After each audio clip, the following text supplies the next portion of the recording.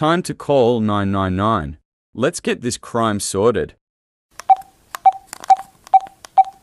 Thanks for calling 999. Here is the following.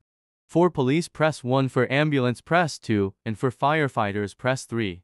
I will press number 1. Hello, this is the police speaking. How may I help you? Our food got stolen by two nasty girls. They even said we will kill the police. Oh my god, that is so rude. How do they look like? One was purple and the other was light brown. They treated us like babies. They made fun of us and didn't care of our hunger. Okay, we will send three officers to your location. We will try to arrest them. Thanks so much and have a good day. I am Officer Chase. I am Officer Huggy. I am Officer Miles. You spoke to us on the phone. I know you called 999. Thank goodness you're here. Our food was stolen by two nasty girls. They were so rude.